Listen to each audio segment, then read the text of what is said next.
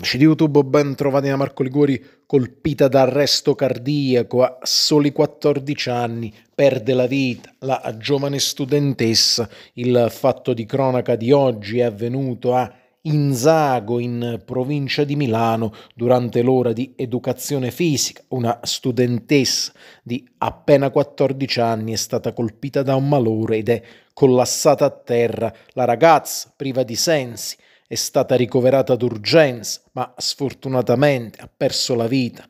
48 ore dal ricovero, il secondo di Marco Liguori, con tutto il dispiacere del mondo, fa le più sentite condoglianze alla famiglia della ragazza che, ricordiamo, ha perso la vita a seguito di arresto cardiaco a soli 14 anni. Amici di YouTube, io vi ringrazio per l'attenzione, lasciate il vostro commento, iscrivetevi al canale, condividete questo video. Ciao a tutti.